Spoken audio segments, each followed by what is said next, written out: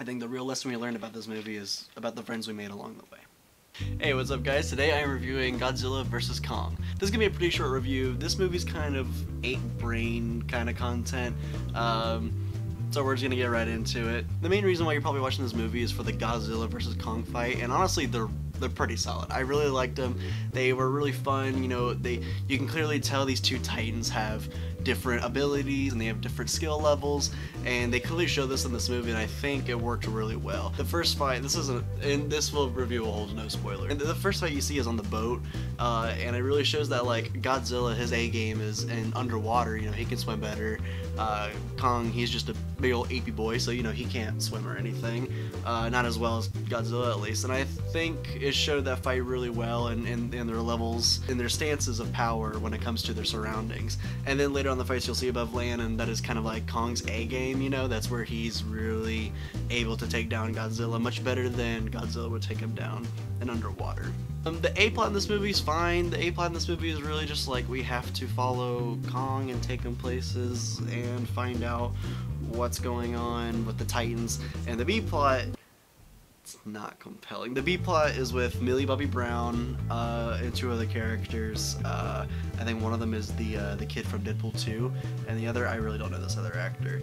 Uh, so basically, you follow these two. You follow a podcaster and two high school students. I mean, it's not the most boring thing in the world. I could sit through it and I, I wasn't yawning or checking the time, but I definitely wasn't interested in it. It's not compelling. These characters aren't compelling. Also, I haven't seen Godzilla King of Monsters. I know Millie Bobby Brown's in that movie. I'm not sure if the kid from Deadpool's in that movie. I don't think the podcaster is too. I don't remember their names. Uh, so it really shows how much I really don't care about this B plot or even the A plot. I don't really remember any of the characters' names now that I really think about it, and I just watched the movie. HBO Max is right there. Uh, these characters, you don't connect with them, and I get, you know, that's not the point of the movie. Set your expectations low, or not. No, I'm not saying set your expect. Set your expectations to know what you're about to watch. You're about to watch. Set your expectations what you want to watch. You want to see Godzilla versus Kong fight. It's about it. That's what you're getting in this movie and the fights are great, and that really makes the movie stand out. But all the other stuff kind of brings it down. The A plot is fine. I I was invested in the A plot. It kept me entertained. The B plot, it's not the casino in Last Jedi, but it's still it's like you don't care really for these characters or for this plot that is going on. So I just I don't really think it's not gonna bog down the movie terribly for you, but it can get a little bit boring. But overall, with the movie keeping me interested, it kept me interested. That B plot is just a boring and really uncompelling, especially when you compare it to really you, you just want to see Godzilla versus Kong. You want to see the fight. That's mainly what it is, and the fights are done really well. There's a bit more to this movie. Um, I guess I, I guess I could do a spoiler section. I'll get to that in a minute. Uh, but the spoilers they're really light. They're nothing that really giantly impacts this movie. There's nothing. Uh, groundbreaking about this movie. It's just you want to see this fight, you want to be entertained. This is popcorn entertainment. This is a brain form of entertainment. You're gonna get what you're paying for, and even if you're not paying for, it, I mean, you're getting it on HBO Max for free.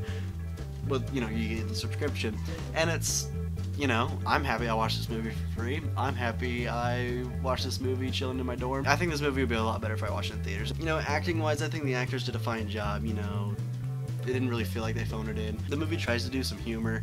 I left out one joke. It was at the very end.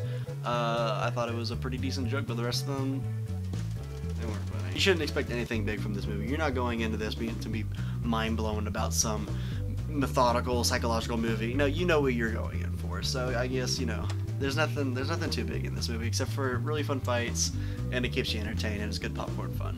Overall, I'm gonna give this movie a 7 out of 10 just because I got what I wanted. I want to see some fun fights. I wanted to see who this who the writer thought was gonna be the winner.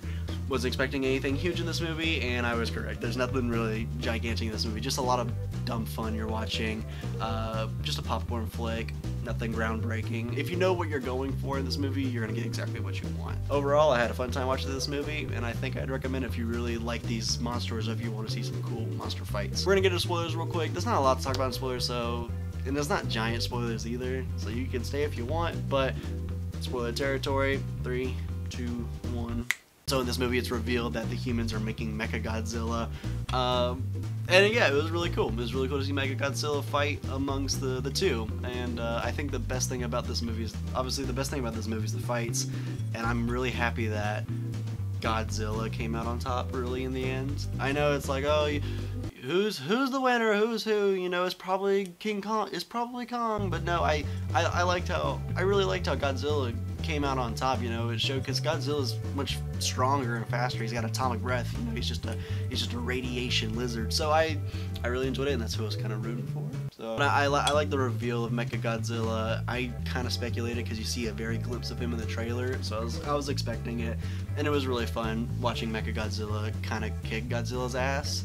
And then obviously Kong, you know, he got the stupid. That was dumb. When Godzilla beat Kong, and the humans charge up their pod to wake up Kong.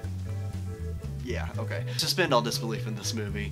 Um, I thought that was I, Godzilla come or Kong coming back and kicking Mecha Godzilla's ass was pretty was pretty fun to watch. I really enjoyed that. Uh, I also like how Ghidorah's brain is its nerve nerve like nervous system is fueling and telling Mecha Godzilla what to do. I just thought that was a really neat idea, and I thought in this movie about in this uh, in this universe about giant monster titans it made sense in that sort of sense. I really liked when the humans were going into that like underworld area. I forget what it's called. It kind of reminded me of 2001: Space Odyssey.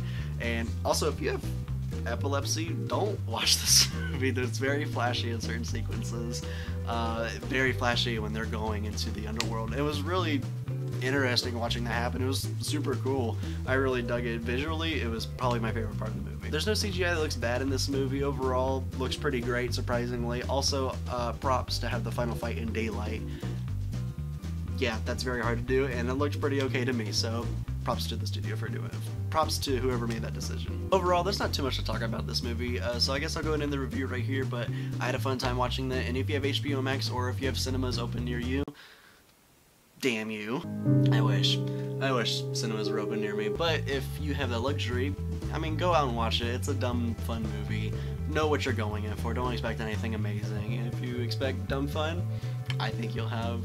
I think you might. I think. I hope you enjoy this movie like I did. Uh, overall, yep, I'm gonna give it a seven out of ten. Just a, just a standard movie nothing groundbreaking, and I had a fun time watching it. Anywho, if you love watching my terrible lighting quick setup so my roommate doesn't come back while I'm recording, uh, hit the like button, subscribe, and share. Uh, I really hope you enjoyed watching this video, and let me know down below if you've seen Godzilla vs. Kong, and let me know what you think about it. Anyway, I'll catch you guys later. Bye-bye.